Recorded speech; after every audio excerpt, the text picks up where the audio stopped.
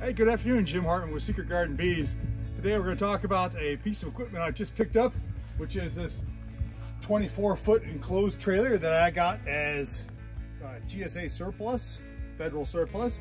And this is going to be my, uh, as my son has named it, my mobile processing unit. This is where I'm going to put my honey equipment for extracting honey and where I'll put the hives to dry them out a little bit, uh, the, the honey supers to dry them out a little bit before I extract that honey.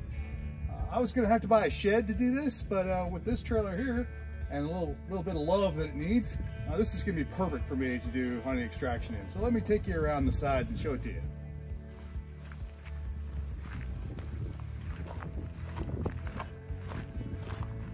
So again, 24 foot enclosed trailer.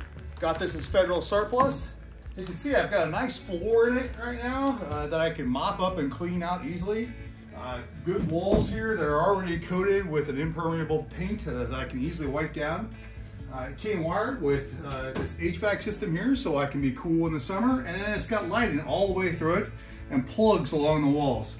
So what I'll be able to do here is bring my honey supers into the front, stack them up there. I'll put a dehumidifier in here, dry out the honey, and then I'll put my extraction equipment down here to the center where I can spin out the honey and then, and then bucket it up for bottling later on. Uh, my plan is to set this thing out uh, know, on the property and park it when not in use and then bring it up here to the shop so I can plug it into my 30 amp power. Uh, this is going to be a great addition to the farm and it saved me a lot of money by being able to get this as federal surplus. So again, Jim Hartman, Secret Garden Bees, and uh, I'll give you an update after we've got some more in here.